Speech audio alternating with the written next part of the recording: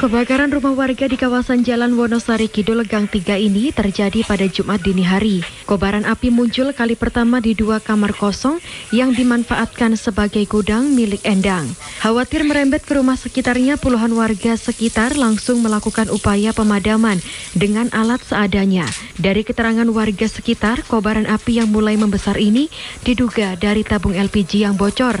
Beberapa menit kemudian, dua kendaraan pemadam kebakaran kota Surabaya datang ke lokasi dan langsung melokalisir serta memadamkan sumber api. Kelihatannya langsung muncul gitu aja dari sana.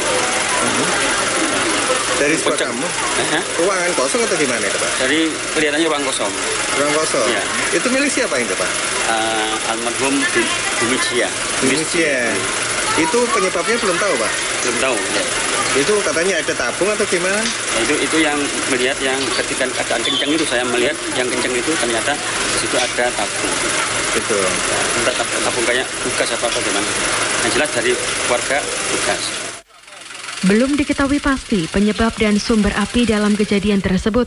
Meskipun tak ada korban jiwa, namun kerugian materi dari kebakaran ini mencapai belasan juta rupiah. Yusmana Windarto, CTV.